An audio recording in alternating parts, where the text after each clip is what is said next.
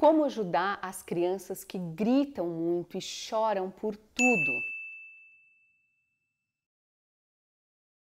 Ontem eu abri uma caixinha de perguntas lá no meu Instagram, @maíra_gaiato, e vocês colocaram dúvidas que vocês querem ver respondidas aqui no canal. Eu postei duas perguntas que fizeram e muita gente respondeu que também precisa dessas informações. Então vamos lá.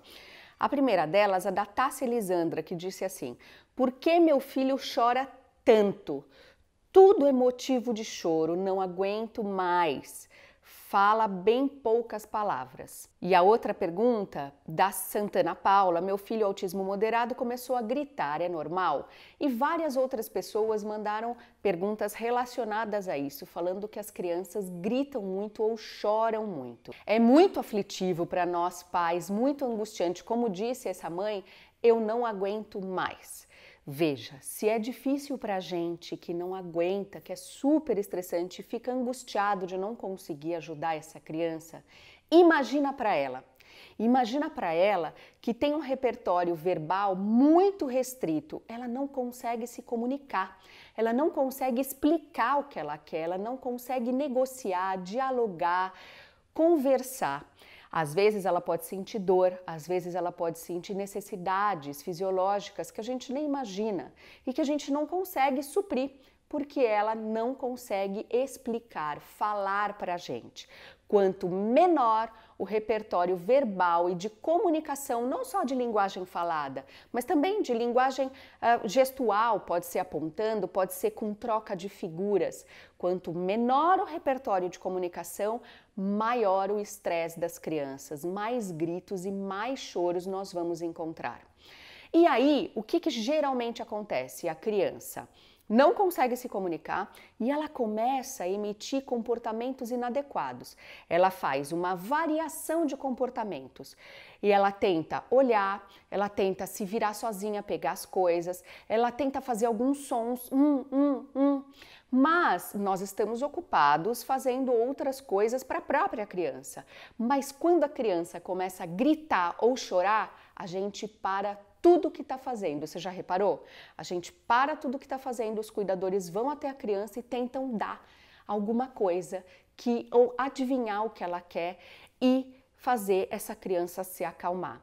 E aí o que, que acontece? O cérebro dessa criança entende: ah, ok, eu preciso então gritar muito alto, chorar muito forte para conseguir alguma coisa boa, legal. Então o cérebro começa a associar essa forma de se comunicar como útil, como funcional.